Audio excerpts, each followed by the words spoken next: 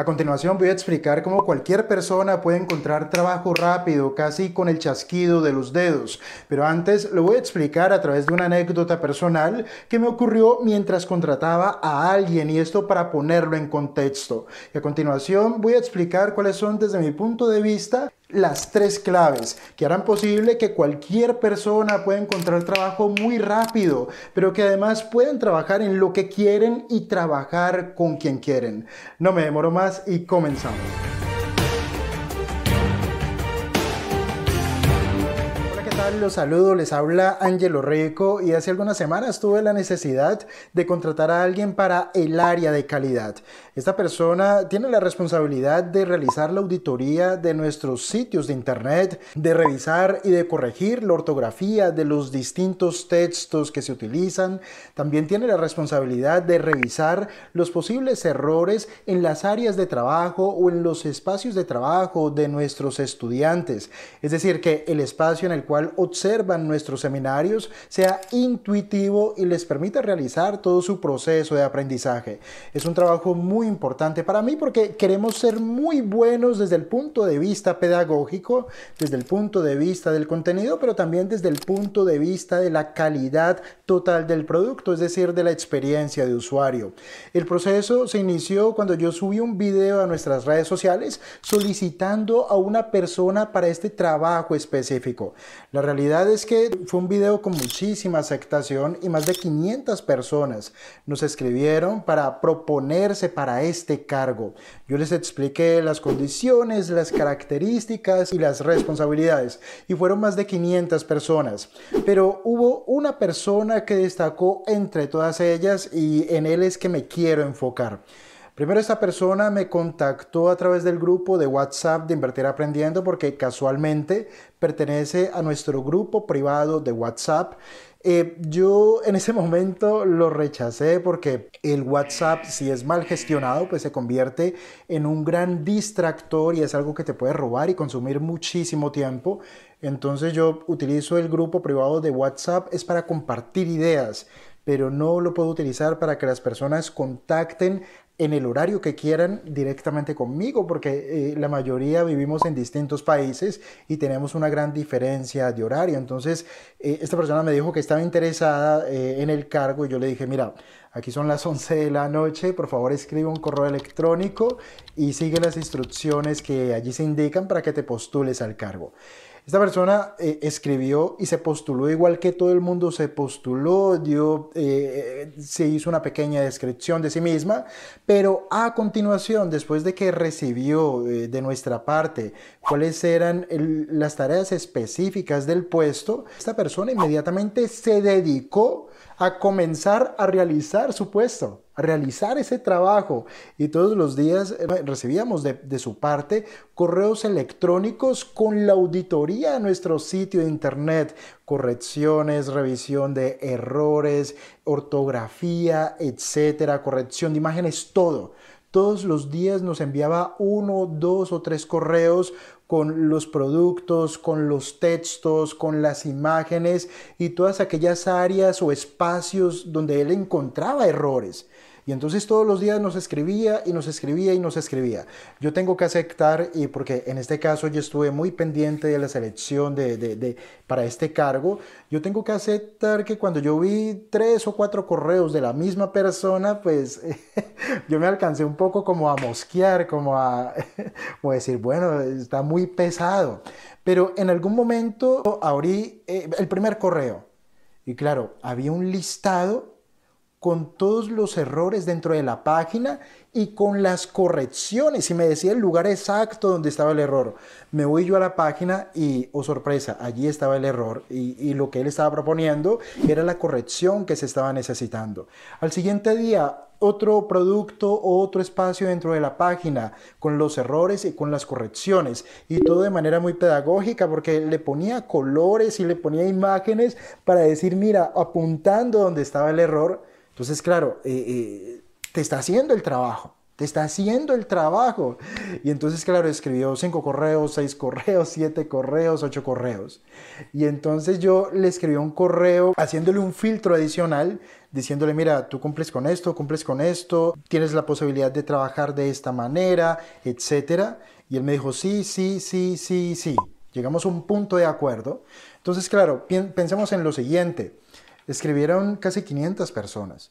Ustedes no se imaginan la cantidad de trabajo que requiere, primero, filtrar a 500 personas por profesión, por experiencia, etcétera, y después de ese filtrado, porque no las puedes contactar a todas, no tienes tiempo para todas, después de hacer ese, ese primer filtro, contactar a las que conforman ese grupo del primer filtro, que supongo yo que estaría entre 30 y 40 personas, realizar un segundo filtro y después volverse a poner en contacto con 10 personas hasta llegar a la persona elegida. Pero claro, esta persona, la que nos estaba escribiendo y escribiendo y escribiendo y escribiendo con la solución a nuestros problemas, nos estaba poniendo el trabajo en la cara. Esta persona, lo digo sinceramente, se puso inmediatamente primera en la fila. ¿Por qué? Y yo creo que si alguien de ustedes ha trabajado en el área de, contratación de personal o ha sido reclutador, creo que entenderán lo que les voy a decir es muy difícil contratar y elegir entre 500 personas. Allí hay mucho trabajo. El objetivo de Experian, no, nosotros no somos ADECO, nosotros no nos dedicamos a contratar gente. Nuestras prioridades son otras. ¿Qué quiere decir esto? Que entre más rápido podamos hacer el proceso y llegando a un final feliz, pues mejor para nosotros y mejor para todos.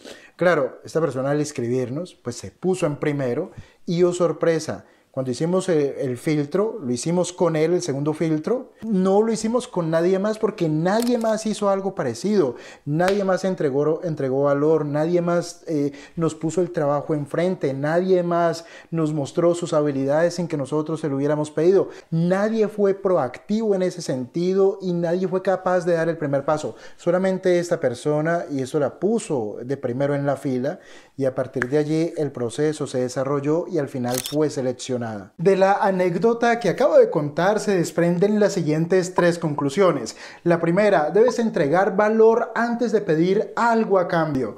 Observen que la persona que es la titular de esta historia no hizo sino entregarme valor y entregarme soluciones y entregarme valor y entregarme soluciones y resolverme el problema y resolverme el problema. Pero en el intermedio él estaba trabajando gratis, él no tenía nada garantizado él no sabía que yo lo iba a contratar. Nadie le garantizaba eso. Pero claro, cuando tú entregas valor, de hecho, estás teniendo un comportamiento muy diferente al de la mayoría de las personas y este comportamiento te pone en la parte superior, te pone de primero en la fila porque nadie lo hace.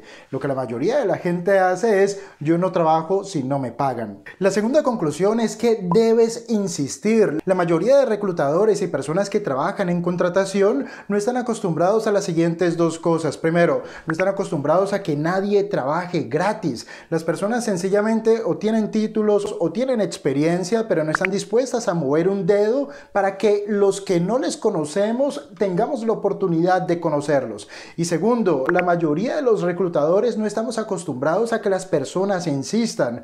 Las personas sencillamente entregan su hoja de vida o escriben la primera vez y ya no insisten, no vuelven a escribir y mucho menos la mayoría de las personas, nadie insiste para entregar valor. En este caso, esta persona insistía e insistía e insistía hasta el punto de volverse pesado. Pero claro, él insistía entregando valor. Me solucionaba un problema, me resolvía otro problema, me resolvía otro problema, me solucionaba un problema, me entregaba valor, dar, dar, dar. Y de esta manera es imposible pasar desapercibido. Y la tercera conclusión es que se lo tienes que poner fácil al reclutador.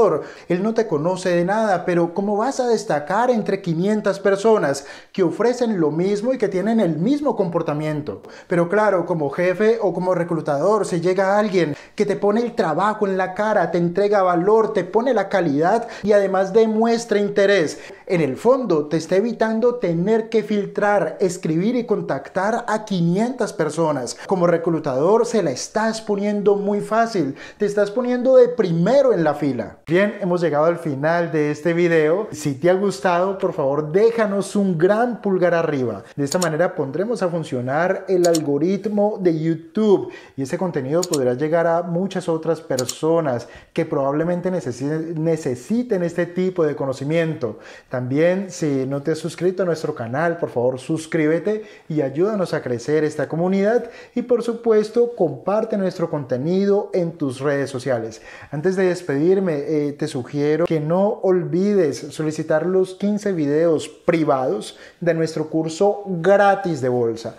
Son 15 videos porque son 15 capítulos y cada capítulo con un contenido valioso e importante en el camino de construir criterio para tomar mejores decisiones de trading y de inversión.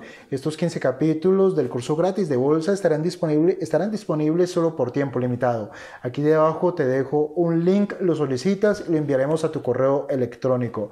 Me despido, déjanos tus comentarios acerca de qué te ha parecido este video y nos vemos en el próximo. Hasta pronto.